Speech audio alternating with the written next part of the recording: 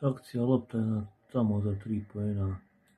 Niko drugi nego Adam Morrison maestralno sačekao i pogodio tricu iz kornera bez kosti. Morrison, kao kap.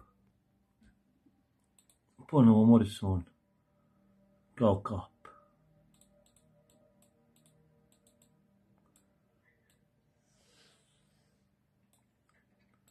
Išao je tamo protiv pola Pirsa, skok šut preko Pirsa i kao kap. Morrison, ponovo majstorija Morrisona i za tri pojena lagano je zabio u tricu Morrison. Iz ovoga kuta vidi se kako je to majstorski Morrison se uradio. Skok šut i trica Adama Morrisona.